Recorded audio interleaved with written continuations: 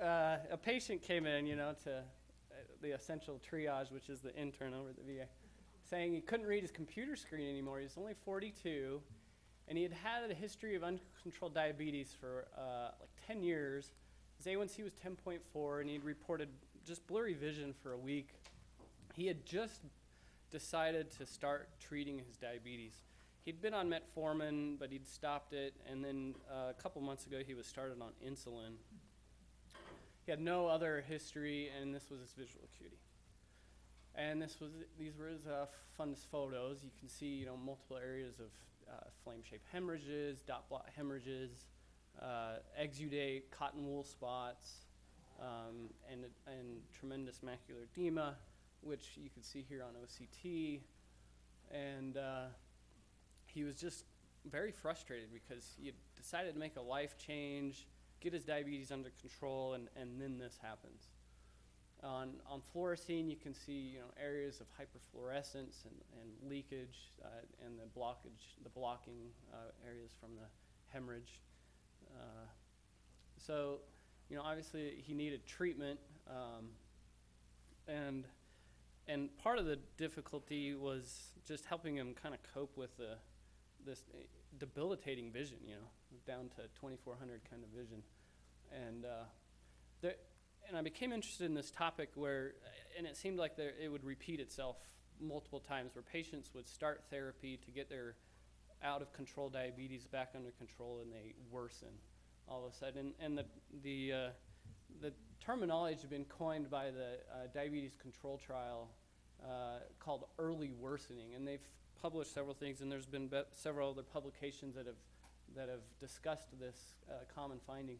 Um, in the DCC trial, they had two groups. They had this intensive treatment group that would get three or more daily injections of insulin, or they were on a pump, and you had this conventional treatment group, would, which get the one to two daily injections of insulin, and uh, and it was shown that the intensive group had better uh, outcomes as far as diabetic retinopathy and other microvascular complications of diabetes. Um, but they also showed an odds ratio of 2.98 for a three step worsening of diabetic retinopathy in the intensive group early on at the six month and 12 month uh, time points. And here's, here's the table from that study. So here's that odds ratio that I just quoted you uh, in the intensive group versus the uh, conventional group of a three step, you know, 15 letter worsening of, uh, uh, from the uh, from since treatment both at six months and you know, at 12 months, you still saw kind of that trend. And, uh, you know, if they looked at other uh, uh, ways to look at um, cotton wool spots or IRMA, you know, that same trend continued uh, where the intensive group would worsen early on. And uh, I know it's a busy slide. I don't want to go over the rest of this, but that was the main point from this table. I'll look over some of this other stuff in a little bit. Uh, the, the baseline factors, you know, when they went and looked at which patients were doing worse than others, they found an interesting trend here. If you looked at screening A1C, so the A1C at the time of enrollment where they started either conventional or intensive treatment, there was uh, it, the early worsening was much worse in the uh, you know with an odds ratio of 3.4 in the patients that had a A1C over 8.8, you know, up here in the, in the really high patients. Whereas the ones that weren't too bad off to begin with didn't show this early worsening. Okay? So that's all I wanted to show from that table. so subsequently, they went back and looked, and they looked at four years out and to see whether the patients that had the early worsening continued to be worse. And, uh, and they found that, first off, intensive treatment overall had better outcomes, even if the patients had this early worsening. So it wasn't that uh, intensive treatment inherently is bad. It's just that these, you know, it's just they're going to be worse in the beginning and then eventually get better. However, if you have early worsening, whether you're in the intensive or the conventional tr- treatment group, so it didn't matter whether you were, you know, getting your A1C down lower, they overall had a worse prognosis than if you didn't have early worsening. So, from that, uh, another study came out which uh, they showed this interesting table here. So it's kind of hard to figure this out, but you, the triangled lines are the ones on the intensive treatment, and the circle or the square or the cube, I guess you'd call it, uh, were on conventional. And the these are the percent with the early worsening. And uh, interestingly enough, the patients that both had the uh, worst A1C to begin with were out here the, with a high percentage of both the intensive and conventional. But also, if they reduced their A1C significantly at the six months, so you compared the intake A1C and the six month A1C, the, uh, that seemed to play a role also.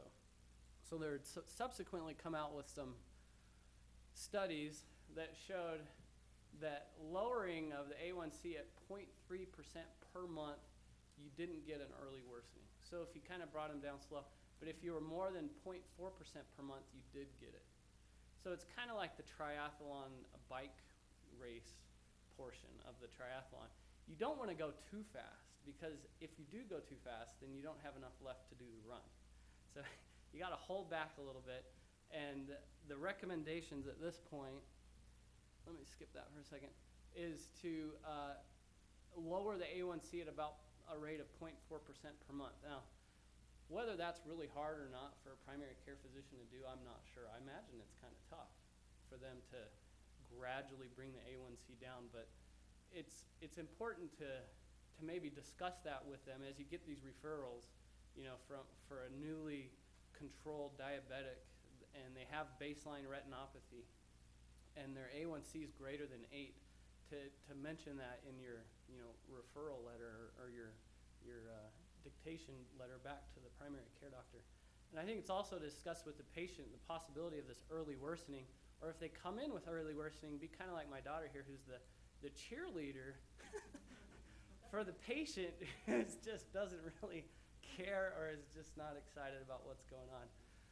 And, uh, and it's important also they recommend that you follow these patients a little more closely early on, even if they don't have treatable diabetic retinopathy at, at the at the time of presentation, they're likely to develop it if they meet these criteria where they're, you know, over A, A1Cs and they're, they're starting this heavy regimen of A1C, of uh, insulin. And uh, our patient, you know, he didn't do real well. he did he did get Triesence, you know, on the, on in uh, on the day of presentation, and then in the other eye, you know, a couple weeks later. Then he came back for for uh, laser treatment for focal treatment, he ended up eventually developing a vitreous hemorrhage. He needed PRP, and I want to say he's had a vitrectomy in one eye, and uh, and uh, I don't know about the other. So he's done poorly, uh, and his vision hasn't really come back. So he kind of met, he fit that uh, that mold where the early worsening uh, patients tend to do worse long term. Uh, any questions or comments from the faculty?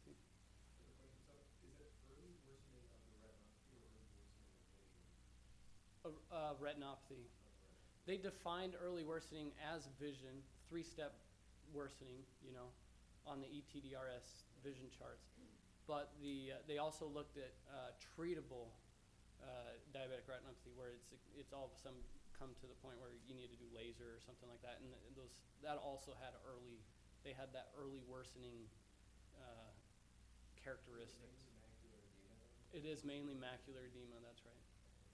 Yeah, and they've done studies to see whether focal laser helps with it, and they it does help, you know, obviously, but it's they don't respond as well as other patients that you know just show up with macular edema that aren't part of this early worsening characteristic group. Yeah.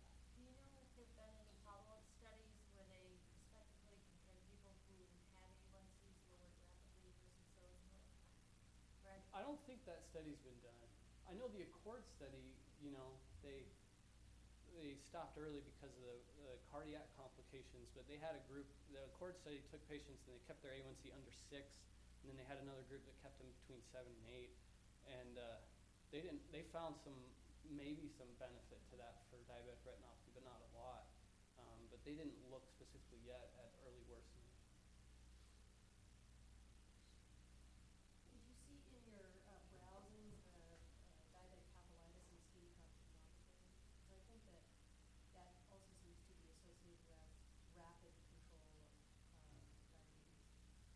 I didn't see that specifically mentioned. I, I bet it's out there. Yeah. Um, you know, the, the, they think the pathophys is this this mismatch between IGF-1 uh, levels, the soluble uh, growth factor, and the receptors. And, and the you know, having someone with these high chronic sugar levels, your receptor levels, uh, you know, chronically get changed to adapt to that environment.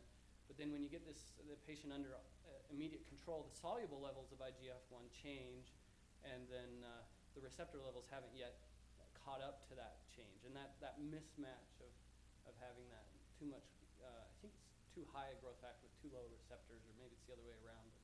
The uh, that seems to be so. I don't see why it wouldn't cause other, you know, microvascular complications like that, papillitis, and optic. Thanks.